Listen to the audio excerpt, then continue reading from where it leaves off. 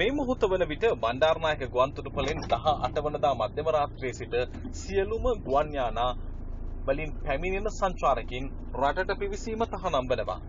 දැන් අප ඔබ වෙත ගෙන එන්නේ බොහෝ දෙනෙකු තුල සැක සංකා මතුවන නිසා ගුවන් තොටුපළෙන් යාමට ඉඩ හැත්තේ කාටද කියන කාරණය පිළිබඳ.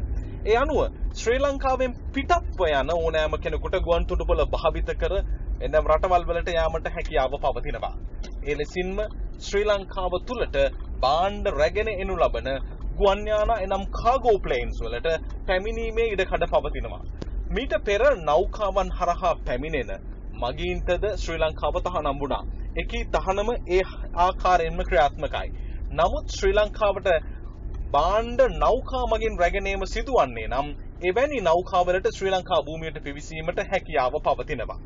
මගින් රැගෙන එන නෞකාවලට සහ මගින් රැගෙන එන ගුවන් යානාවලට පමණයි මේ මොහොත වන විට වාරණය පනවා තිබෙන්නේ. ඒ අනුව යමෙකු යම් ආකාරයේ අනිසි බීතිකාවක් ඇති කරගෙන ඇත්නම් අප කියන්නේ ශ්‍රී ලංකාවෙන් බැහැරව යන අයට රට තුළට බාණ්ඩ රැගෙන යන ගුවන් යානාවලට රට තුළට බාණ්ඩ රැගෙන එන නෞකාවලට ශ්‍රී ලංකාවට පැමිණිය හැකියි.